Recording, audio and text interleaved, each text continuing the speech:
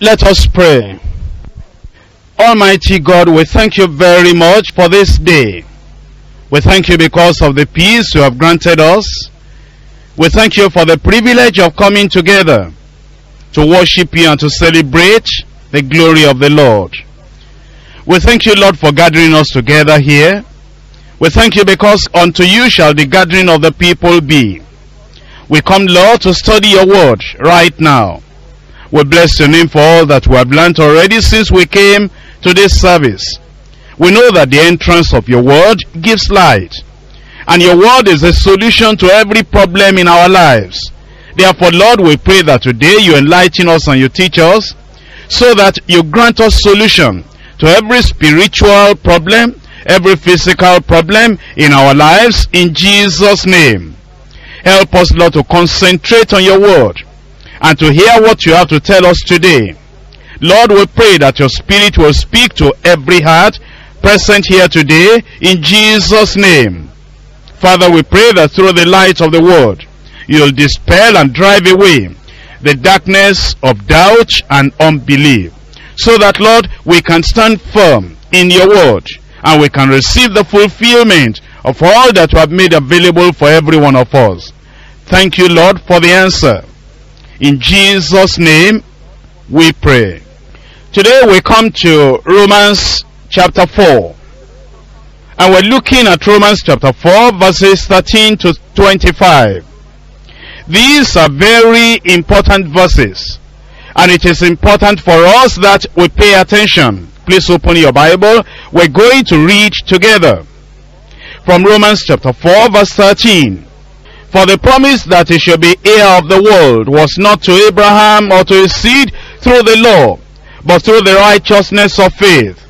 For if they which are of the law be heirs, faith is made void, and the promise made of none effect. Because the law worketh wrath, for where no law is, there is no transgression. Therefore it is of faith, that it might be by grace, to the end the promise might be sure to all the seed, not to that only which is of the law, but to that also which is of the faith of Abraham, who is the father of us all.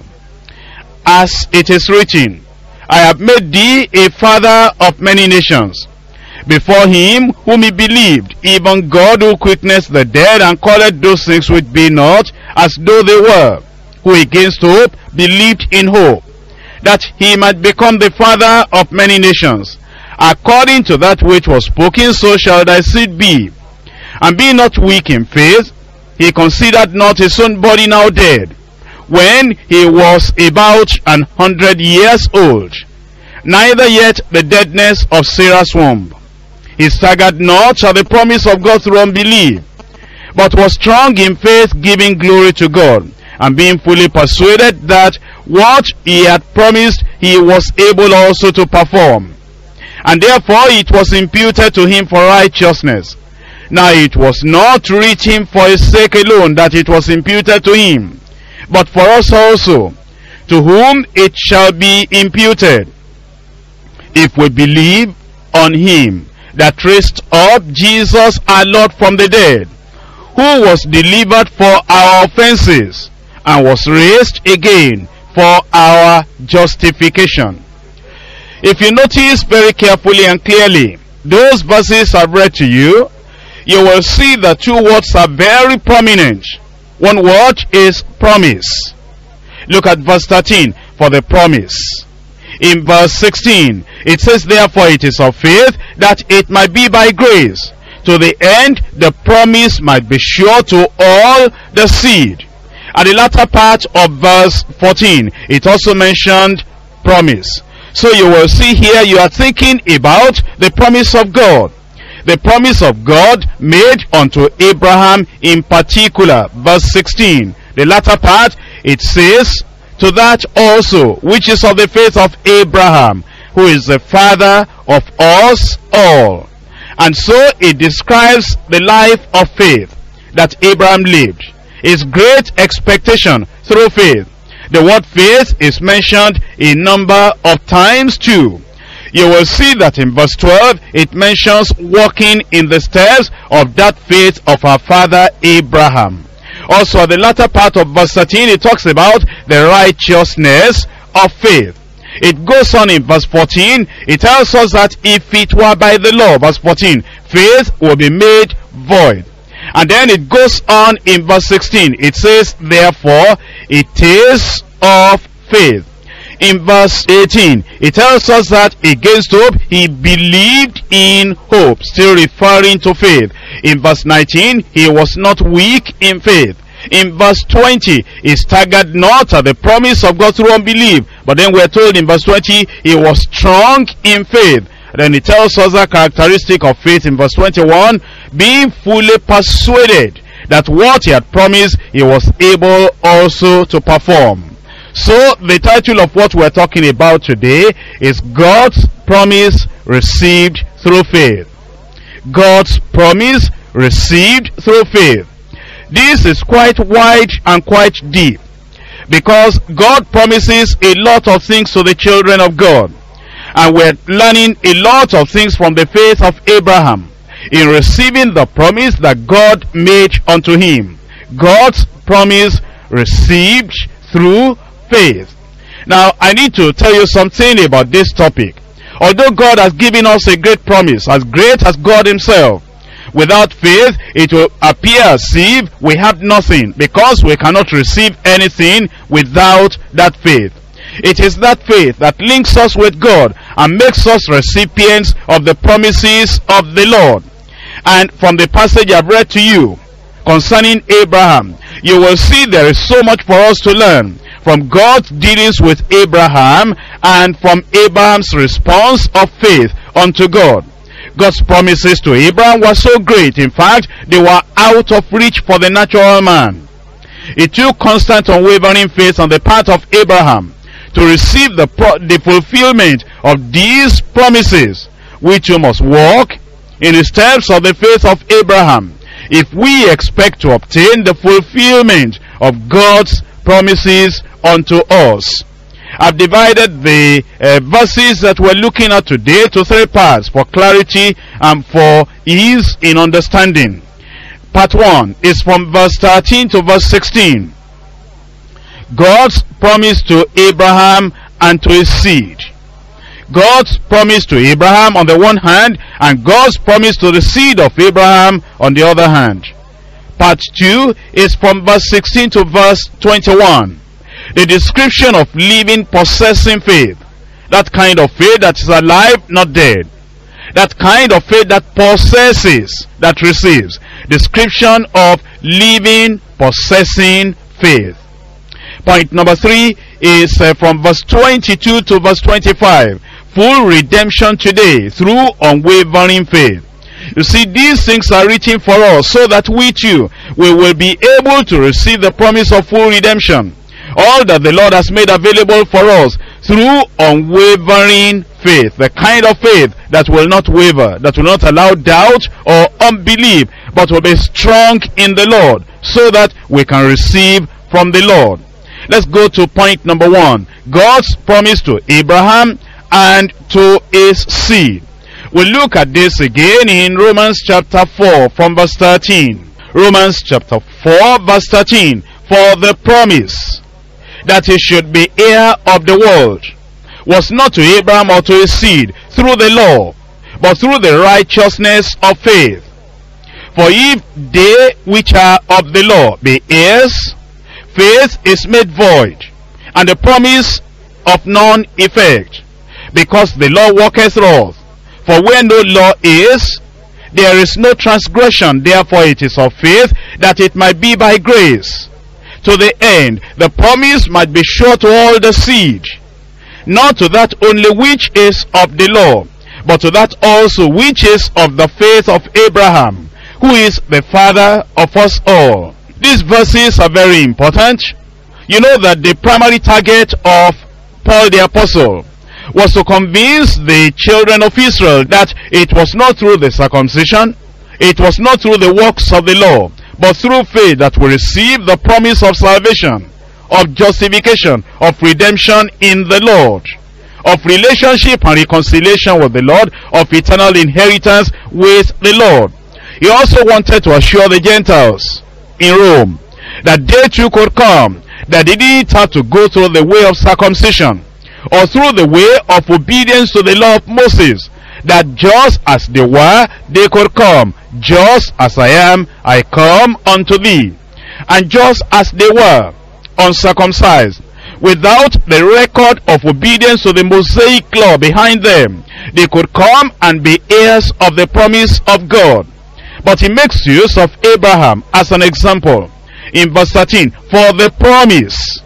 He, he referred to a particular promise. For the promise. In fact, this promise was a promise made unto Abraham.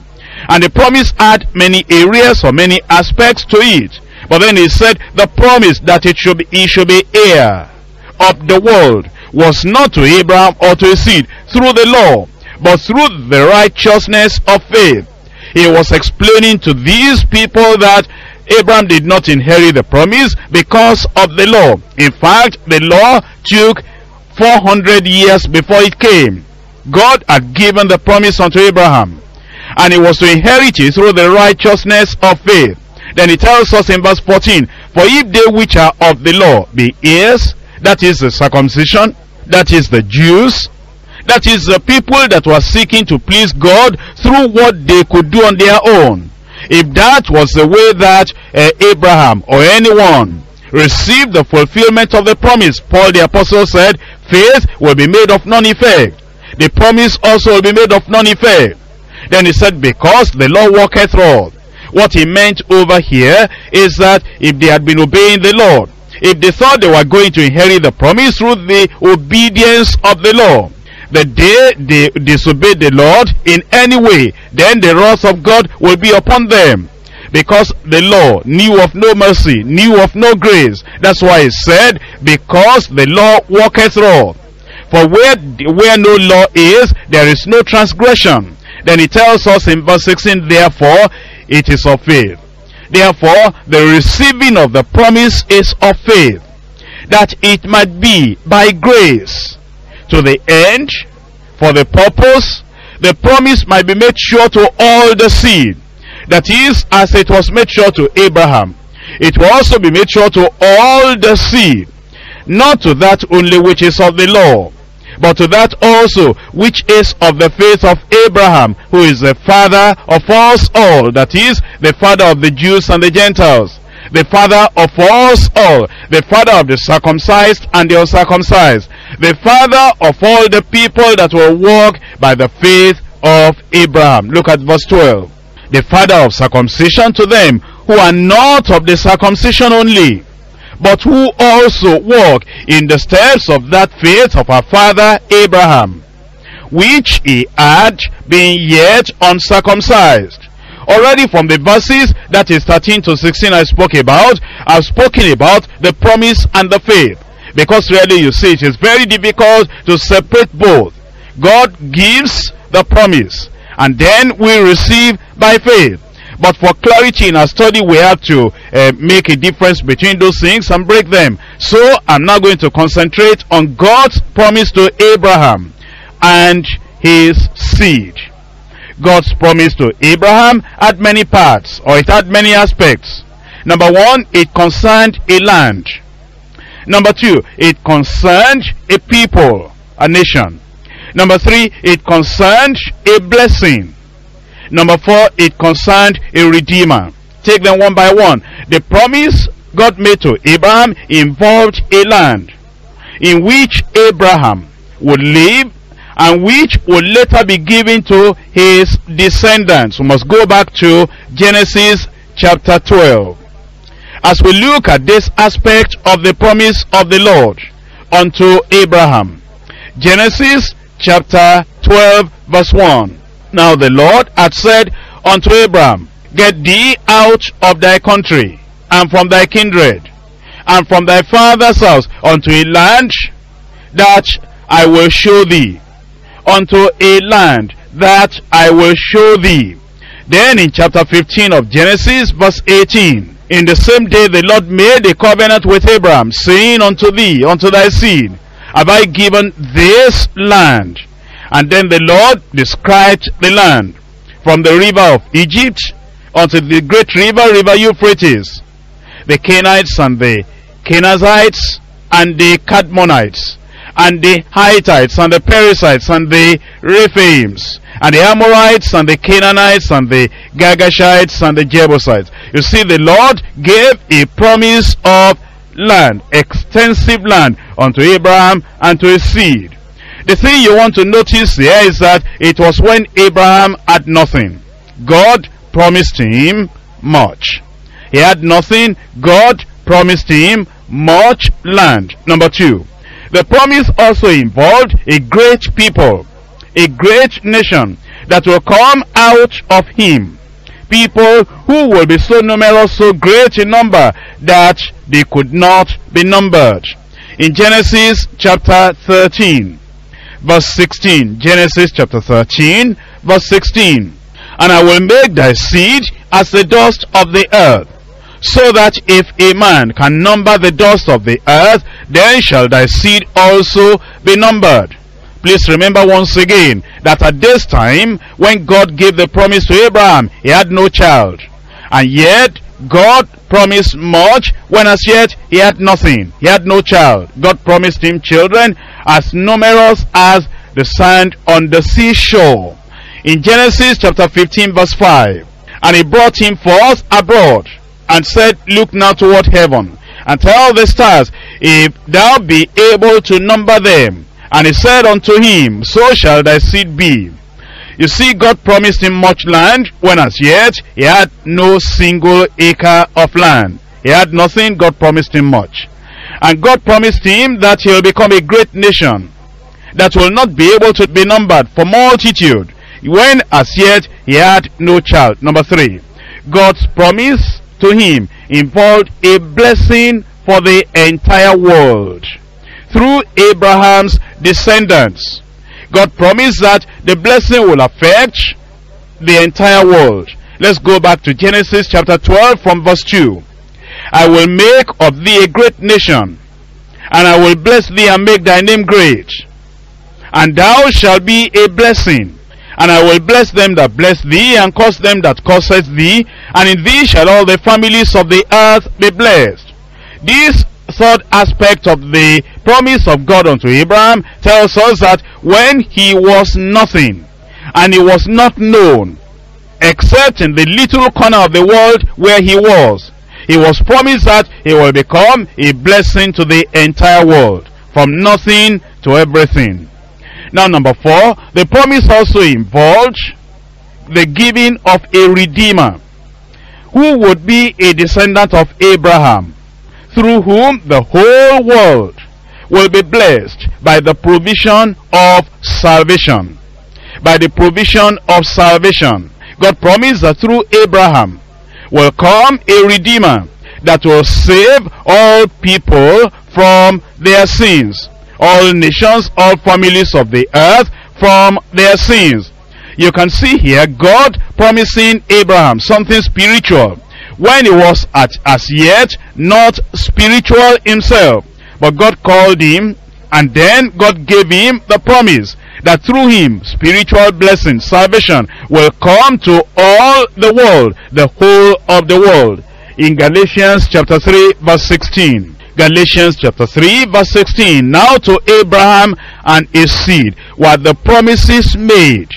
It says not unto seeds, plural, as of many, but as one, as of one, and to thy seed, which is Christ. Now you can see all these things that the Lord promised Abraham. If we were to summarize everything, much land when he had nothing, many people when he had no child, a blessing to the entire world when he was not even much known in the corner of the world he was, a redeemer spiritual blessing when as yet he was not spiritual himself. The single word you can think about will be impossible. It looked far out of reach. It appeared that it was impossible to be fulfilled. And yet, this was the promise of the Lord. And it is in the same way you look at the promise that God has given unto us today. The promises God has given us are so far out of reach. In fact, they appear incredible, they appear uh, improbable, they appear impossible. And yet, the Lord has given us this promise. But you must remember that when God made the promise to Abraham, it looked like that. The land, the people, the blessing to the entire world, the Redeemer coming out of him for the entire world. It looked impossible. And yet, that was the promise of the great God unto Abraham. Do you know that God has given us promises like that today? That when you look at these promises, it will seem unbelievable, incredible to start with. But then, as you remember the faith of Abraham, and you also manifest that same faith of Abraham, you will see that what God did for Abraham, the same thing he can do for every one of us. Let us look at a few of the promises that we have. In Hebrews chapter 9 verse 15. Hebrews chapter 9 verse 15. And for this cause, he is the mediator of, it, of the New Testament, that by means of death, for the redemption for, of the transgressions that were under the first testament, they which are called might receive the promise of eternal inheritance. Here we are still in the world. And the Lord is giving us the promise of eternal inheritance. Far beyond the reach of the human mind. Far beyond the reach of human ability. Far beyond the reach of what we can say we can even have. In fact, some of us that do not even possess temporal inheritance little things here in this temporary world. God is giving us the promise of eternal inheritance. That means that if you will believe on the Lord Jesus Christ, the promise is making to you will even stretch far, far into eternity. Luke chapter 1.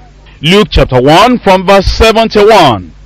That we should be saved from our enemies and from the hand of all that hate us. To perform the mercy promised to our fathers.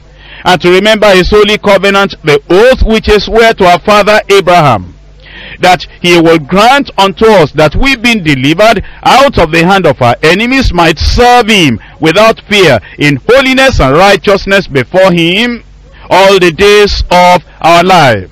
Again, look at the promise that he has given us here. First of all, what I read to you in Hebrews is giving us the promise of redemption from our transgression, the forgiveness, the peace of God, the salvation of the Lord. And he has also given us there the promise of eternal life, eternal inheritance. Now, he's promising us something here in Luke chapter 1.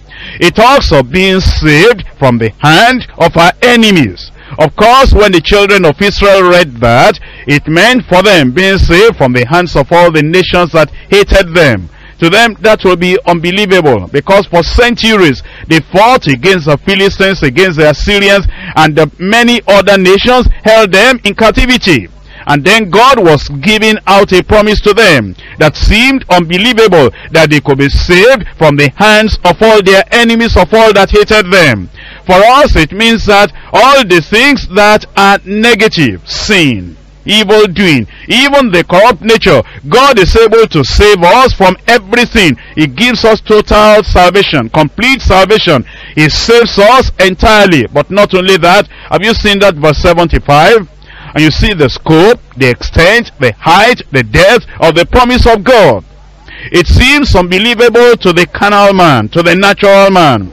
Because it reaches so far beyond human ability. It says that we might be able to serve him without fear in holiness and righteousness before him. Even to be holy before your fellow human being, how about that? You, you know how difficult that could be naturally. The wife to even be holy before the husband. Or to be holy, or the husband to be holy before the wife. For us to even maintain holiness.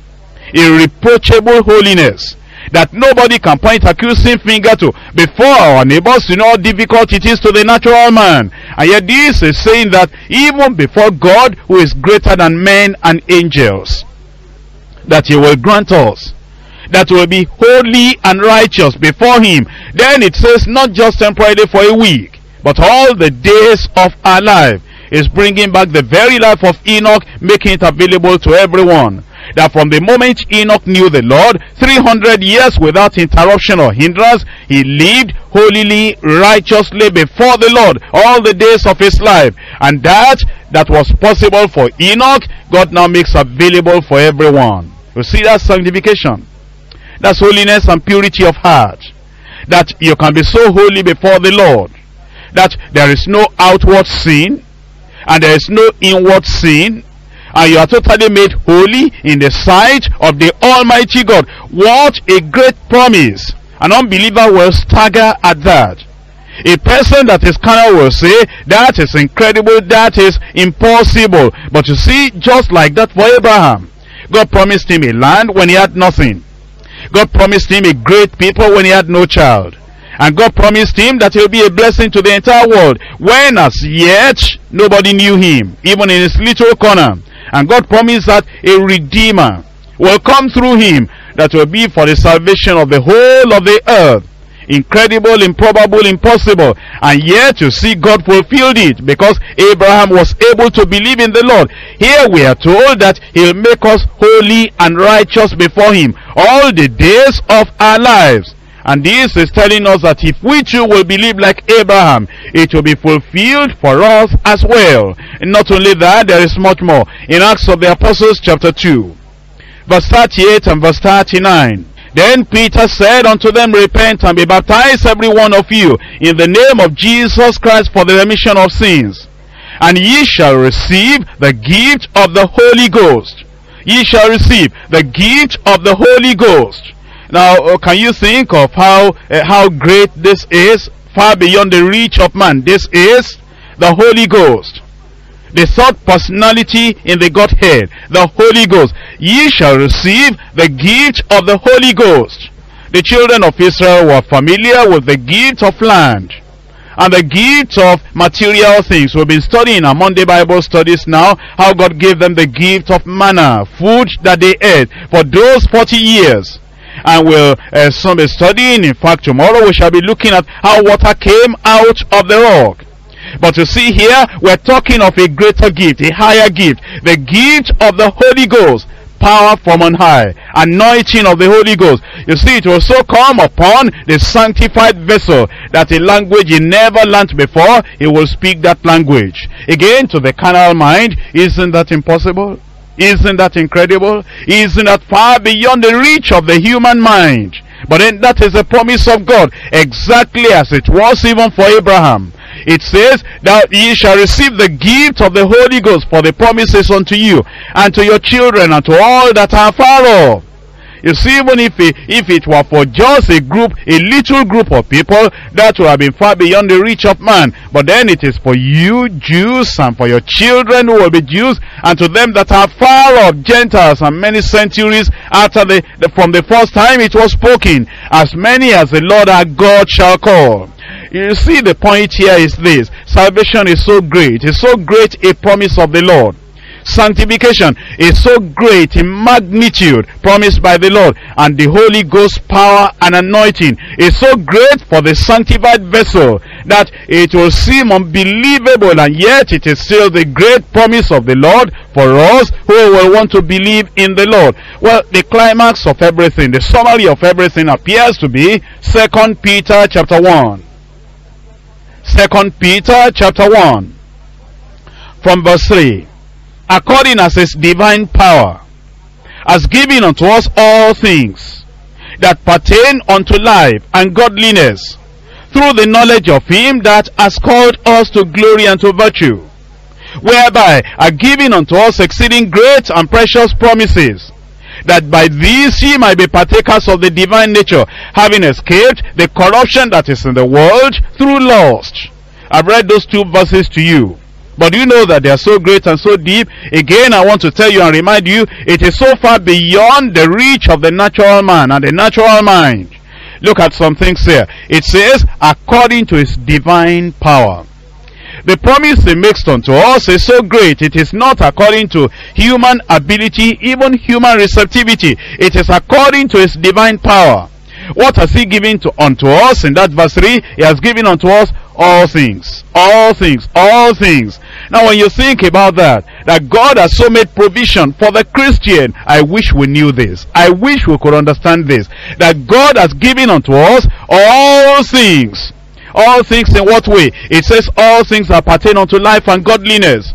Is uh, now making uh, uh, two different things. It, say, it says our life is a spiritual life as well as a natural physical life. And then it says God has given us according to his divine power. He has given us all things. All things pertaining unto the natural life unto the physical life and pertaining to the spiritual life unto godliness then it says, through the knowledge of him. All you need to know is to know him. And then all these things will be yours. That has called us, he has called us to what? To glory and to virtue. Naturally, we are, we, we are people of shame because all have sinned and come short of the glory of God. But then he says now, because of fear of this promise, he has given unto us glory and virtue. Then he says in verse 4, whereby are given unto us exceeding great, exceeding great and precious promises. If you were to pick those words one by one, you could say he has given us promises. Not only that, he has given us precious, precious promises. He has given us great promises. He has given us exceedingly great and precious promises. You see what God has given us? In fact, those who do not live the full Christian life, is because they do not know what God has given. They do not know the extent, the scope, the depth, and the height of the promises of God. He has given unto us literally all things pertaining to life and godliness. He has given unto us great and precious promises that are very, very great. In fact, he says, by these we might be partakers of the divine nature. You see, the human being, because of the fall, appears to have the animal, beastly, wild nature. You can see from the behavior. You can see that the human being that doesn't know Christ is, is like is a partaker of the devilish, satanic nature. You can see from the lie, from the deception, from the evil, from the wickedness, man has a beastly, animal, satanic, devilish nature. But then he says, by these promises he has given us, we are now made partakers of the divine nature. And then he says, having escaped. Can you think about that? Having escaped the corruption that is in the world through lust. It says all the corruption in the world. It could drown a man. The corruption in the world is as deep as the ocean that could drown every human being until you don't see every any human being at all because everyone is so drowned in, in the corruption in the world. But then God has given us promises that will make us to escape the corruption that is in the world through laws. These are the promises of God. I've shown you a few of these promises so that you will know. As God promised Abraham something great, something high, something far beyond the reach of the human mind, and something far beyond the reach of human ability. In such a way, in the same way, God has given us promises concerning salvation, concerning sanctification, concerning the Holy Ghost baptism, in fact concerning all things that pertain unto life and godliness. And all these things are available to you and to me today. If we will have faith in the Lord, let us understand, you will inherit all these things, not by power, not by might, but by my spirit, says the Lord. It is by grace. You will believe, you will understand that these great riches are at Christ's expense. That is, Christ has made them available. So that now the moment you believe on the Lord, these things will be yours. If you will not look at your circumstances, if you will not look at your weakness, if you will not even look at your human nature, you keep on looking unto God, then salvation will be yours. Because it says, look unto me, all ye the ends of the earth, and be ye saved, says the Lord your God. But then everything hinges on faith. Everything hinges on faith. That is what leads us now to point number two. Point number two, which is the description of the living, possessing faith of Abraham. And this is to show us how we too can have such faith as well. In fact, what we're looking at today is so very important because It is through this living faith, this possessing faith, this active faith that we can inherit the promises that God has made unto us of all things pertaining to life and to godliness. Description of living, possessing faith in Romans chapter 4 from verse 16. Therefore it is of faith that it might be by grace. This is very important. All the promise God has made unto us, the promise of salvation, the promise of sanctification, the promise of Holy Ghost baptism, the promise of healing and deliverance, all other promises God has given us, it is by faith, that it might be by grace to the end that the promise might be made sure to all the seed, that the promise might be made sure to all the seed, everyone without exception, not to that only which is of the law, but to that also which is of the faith of Abraham, who is the father of us all. As it is written, I have made thee a father of many nations before him whom he believed, even God who quickeneth the dead, and calleth those things which be not as though they were. Now you will see that when God promised all these things, they were not in existence for Abraham. And yet God was looking at them from afar off because a thousand years was the Lord like a day. What will happen in a thousand years time? God could bring everything back and see it at that point. You see, Jesus had not come at that time. But then the thing that will happen hundreds of years to come in the coming of Jesus Christ as uh, the seed of Abraham, God could see it ahead of time. He called those things which be not as though they were. In verse 18, who against hope believed in hope. This is not telling us the quality, the characteristic of the faith of Abraham. He hoped against hope that he might become the father of many nations. If you want the promise to be uh, to be fulfilled in your life, you'll need to hope against hope. According to that which is written, which is spoken, so shall thy seed be. Then it says in verse 19, and being not weak in faith, he considered not his own body now dead. If your faith is going to be strong, there's something to consider, there's something not to consider. You consider God, the supernatural one. You consider the promise that will never fail you consider the power of God that is able to fulfill and perform all that he has promised. There are things you don't consider. You don't consider your own weakness. You don't consider your own inability. You don't consider your own circumstances and situation. And being not weak in faith, he considered not his own body now dead when he was about an hundred years old, neither yet the deadness of, of Sarah's womb. He staggered not at the promise of God through unbelief, but was strong in faith, giving glory to God, and being fully persuaded that what he had promised he was able to perform. Therefore it was imputed to him for righteousness. Now you can see the way Abraham believed in God. He believed in God to the point that he will not doubt anything at all. And this is what God is calling every one of us to. He wants us to believe in Him. We I've read it to you already in verse 16 that the promises of faith that it might be made sure to all the seed. And you are part of the seed. You are one of the seeds. That it might be made sure to you also. As one of those people that walk in the stead of the faith of Abraham. In this passage which we have read and explained a little Paul the apostle lists certain characteristics of the faith of Abraham. The kind of faith that results in the fulfillment of the promises of God. That is, the kind of faith that will grant us salvation from sin.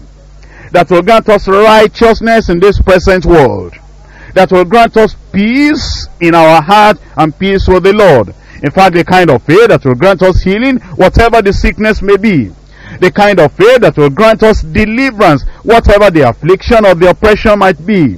The kind of faith that will grant us holiness, holiness of heart, holiness of life, holiness of thought, holiness in every way. The kind of faith that grants us sanctification, circumcision of heart, purity of heart.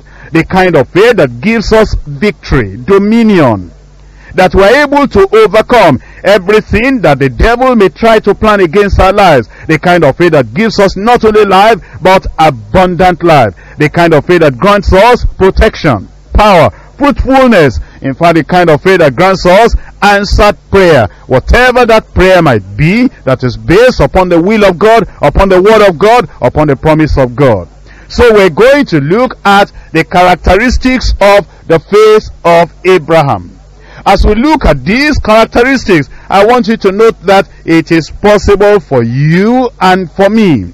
And if you will learn these seven characteristics I'm going to give you now through these uh, verses I've read to you, and you will apply your heart to them, your life will never be the same again.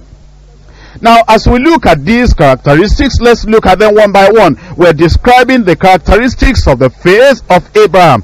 The kind of faith that's alive and the kind of faith that is active, that possesses the promises of God. Number one, Abraham's faith was faith in a God who sees the thing completed before its commencement appears to human eyes. Before the commencement of that thing appears to human eyes, faith sees it completed by God. Look at verse 17 again. As it is written, I have made thee a father of many nations before him whom he believed, even God, who quickeneth the dead, and calleth those things which be not as though they were. You see, God calls the things which be not as though they were. God sees the work accomplished, finalized, completed, before it even appears visible to human eyes. That is our God. And we children of God should have that kind of faith. You know what Jesus said? Have faith in God. The original says, have the faith of God. The kind of faith that God possesses.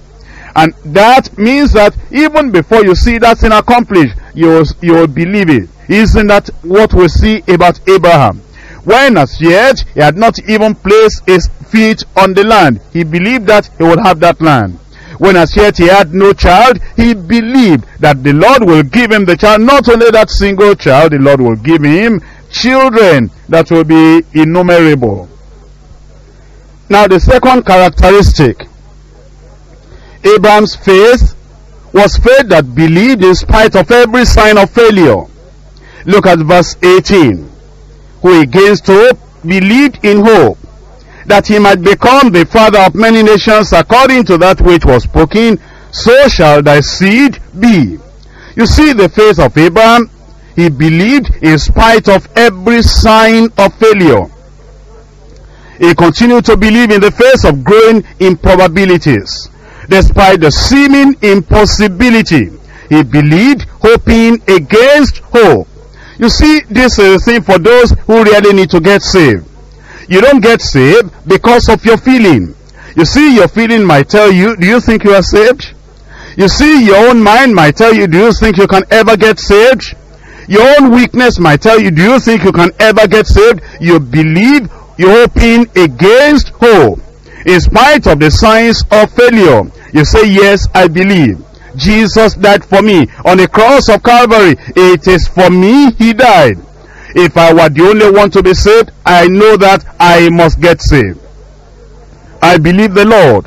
In the face of growing improbabilities, I believe the Lord. He died for me. I accept it. That settles it for me. The same thing for those who need to be healed. You see, maybe you have sickness in your body. And it appears that the doctors are telling you that it is hopeless. The kind of faith that receives the fulfillment of the promise of God is the one that will hope against hope. In spite of every sign of deterioration, every sign of failure, every sign of, of uh, something negative, every sign of growing improbability, you will tell the Lord, I believe your promise. You will never fail. I hope against hope. Let's go to point number three. That is, the third characteristic of Abraham's faith. Abraham believed God without becoming weak in faith. His faith did not weaken with the passage of time. You see, when God gave him the promise, time was going. Year came, year went by. And yet, he was still believing God even through the passage of time. His faith prevented him from becoming discouraged by his own natural weakness. Look at verse 19. And being not weak in faith, he considered not his own body now dead.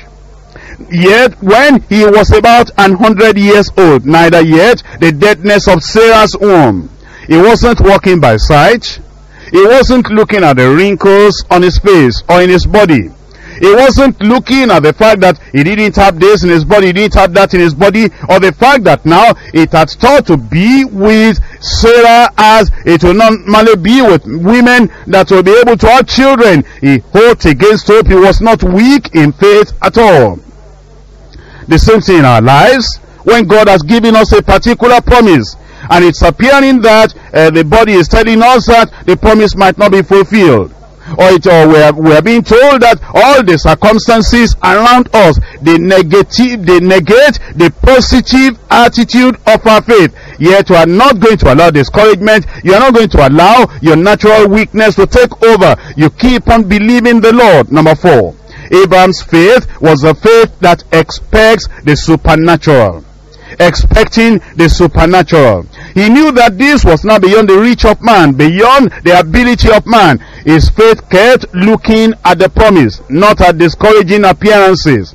Natural impotence was no problem to Abraham because his faith was in the supernatural God who had created him in the first place. Number five. Abraham's faith kept out all unbelief. Unbelief will try to come. Of course, unbelief may try to knock at the door.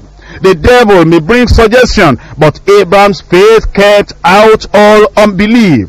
You see, if you have been afflicted in your body and you are looking for deliverance and dominion, and you know the promise of God, this sign shall follow them that believe. It says, in my name, they shall cast out devils. Another passage tells us, behold, I give unto you power to tread upon all the power of the enemy. Nothing shall by enemies hurt you. Another promise tells us that Satan shall bruise Satan. God shall bruise Satan. God shall bruise Satan. Almighty God shall bruise Satan under your feet shortly. You see, this promise of God that God has given unto us, we need to understand we must not stagger at the promise of God through unbelief. The devil might say, do you think you can ever overcome? Do you think you can ever have dominion? Do you think you'll ever be able to have the fulfillment of the promise? Faith does not entertain doubts. It has no anxiety. Faith has no anxiety. Faith has no complaints. Abraham's faith was absolutely assured. There were no ifs and buts or perhaps or maybes concerning his faith. He was fully persuaded. He was fully persuaded. Number six, Abraham's faith was in the omnipotence of God. He believed in a God who was able to perform what he had promised. His faith was in the eternal, eternally unchanging faithfulness of God. In verse 21, and being fully persuaded that what he had promised he was able also to perform. Number seven, Abraham's faith was a kind of faith that believed until it received. Not, not just that he believed for some time, but he believed until he received. True faith never fails to receive the promise. And what does he receive? He receives what has actually been promised, not anything else. This is the description of faith we find in many parts of the Bible. Time will fail me to be able to read to you all references concerning faith like this. Let me read one or two. In Acts of the Apostles chapter 27. Acts chapter 27 verse 25. Wherefore, sirs, be of good cheer. For I believe God that it shall be, even as it was told me. If you could read the whole chapter, you will discover the predicament and the difficulty of Paul the apostle here. They were on the sea, and the storm was raging. In fact, they had lost hope of safety. They thought they will all die. They were already, I mean the mariners and the people, the crew in the ship, they were already casting their wares and their victuals, their food into the sea. For many days, they didn't eat at all. Fear and anxiety will not allow them to eat. Then eventually God gave a promise unto Paul through an angel that is sent to him. and told him that he, his life will be preserved. Not only that, all the people that sailed with him would also be secured. And now Paul the apostle testified and said, I believe God, it shall be even as it was told me. What kind of faith is that? Faith that sees the safety accomplished before its commencement, before it even appeared to human eyes. All those people were Paul the apostle, they couldn't see it, but then Paul the apostle saw it through the eyes of faith. Number two, it was a kind of faith that believed in spite of the sign of death, of destruction, of failure. You see, all the signs around Paul the apostle was a sign of death, of destruction, of failure. But in spite of all that, Paul continued to believe. Number three, it was a kind of faith that was not weak. That faith was not weak. He believed in the Lord. In fact, he began to eat to encourage the people. He said, it shall be so. It shall be so. God said it. I believe it. That settles it. He said, it shall be so. He was not weak in faith. In fact, it was a kind of faith, number four, that believed in the supernatural. Because you see, all natural efforts were failing and already failed. And they didn't know what they could do. It was a kind of faith that believed in the supernatural. That God who created the sea was able to control the storm. And God was able to preserve their life. Number five, it was a kind of faith that kept out all unbelief.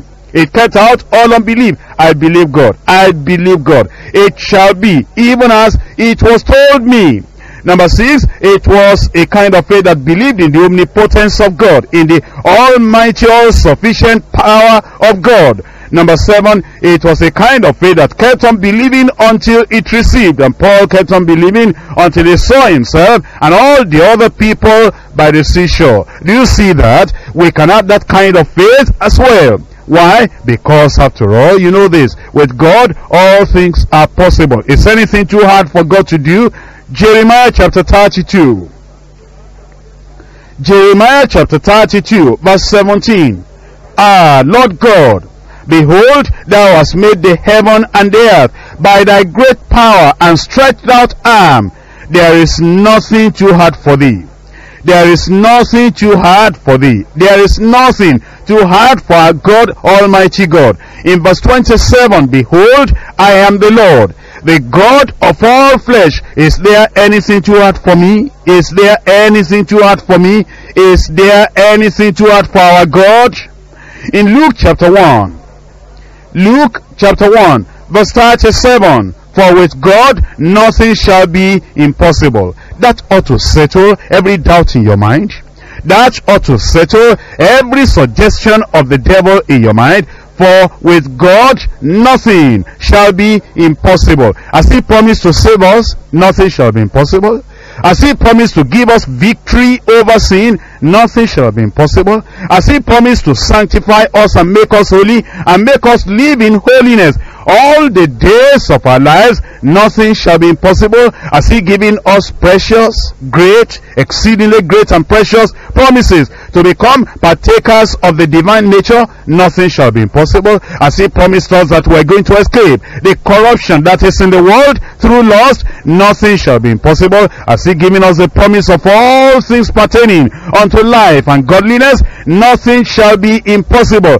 For with God, nothing shall be impossible. Has he given us the promise of an eternal inheritance? And the promise of the gift of the Holy Ghost?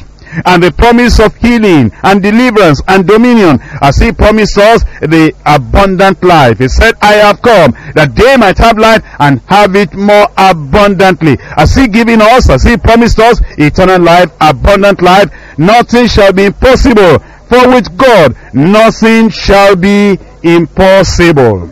And so we need to understand that if we will believe in God, He will fulfill His promises in our lives. Now we go to point number three. Point number three, full redemption through unwavering faith. Full redemption today through unwavering faith. We're looking at Romans chapter 4 from verse 22 to verse 25 and therefore it was imputed to him for righteousness. Now it was not written for his sake alone, that it was imputed to him, but for us also, but for us also, but for us also to whom it shall be imputed, if we believe on him that raised up Jesus our Lord from the dead, who was delivered for our offenses, and was raised again for our justification. Here we are told that all these things were studied about Abraham, that the benefits of faith were not limited to Abraham. In fact, all these things are written for us because it is for our benefit also.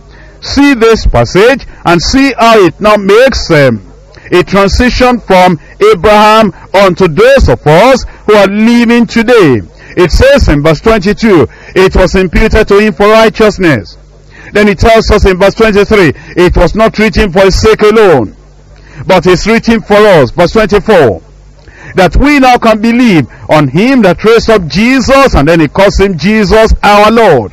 Jesus our Lord, not only their Lord, but our Lord. And then he says, he was delivered for our offenses. All our sins, everything you can put it back together, Jesus can take everything away. He has become our Savior. He has become our substitute. He has become our sin bearer. And you see, you don't have to bear the guilt of your sin, the load of your sin. In fact, nobody here listening to my voice now ever needs to say, I am not saved, I'm not saved. Because you see, right now you can make a transfer of all your sin, every sin you ever committed until this very moment. You can put it on the Lord Jesus Christ. Not only that, you can claim grace for the rest of your life from that Lord Jesus Christ. You transfer your past sins unto Him and He becomes your sin bearer because He has been delivered for our offenses. And then you claim from Him, you receive from Him grace, abundant grace, overflowing grace, continual grace, so that now He will be your justifier and you'll be secured in Him. You see that? We can have all that. In fact, this is why the Lord has promised us abundant life. If we just believe, if we just believe, the, the moment you believe, everything becomes yours. In John chapter 10, verse 10. John chapter 10, verse 10. The thief cometh not but for to steal, and to kill, and to destroy. I am come that they might have life, and that they might have it more abundantly. I am come that they might have life and that they might have it more abundantly. You see, you can have that abundant life where you are not falling and rising, falling and rising, where you live a consistent life, a happy life, a joyful life, a fruitful life, a spiritual life, a fulfilled life. Where you have that life in Christ because of the grace of God that is given unto you. In third epistle of John, third epistle of John, verse 2. Third John, verse 2. Beloved, I wish above all things that thou mayest prosper and be in health, even as thy soul prospereth. Here we have the description of the full redemption. It says, number one, as thy soul prospereth, it is well with your soul. Your sins are forgiven. Eternal life is yours. Christ is abiding in you. Your name is in the book of life. You are enjoying your relationship with the Lord. That's the promise we're given. It is yours by faith. Your soul prospereth. Not only that, that you be in health. That you be in health, even as thy soul prospereth. That means also that you will be healthy.